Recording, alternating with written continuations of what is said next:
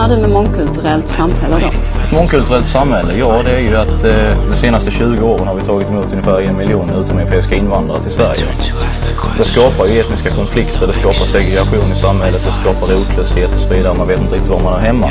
Och det är där vi vill förhindra då genom att stoppa invandringen först och främst. Den utomeuropeiska invandringen. Hur ofta rånar i folk? När du behövs kanske.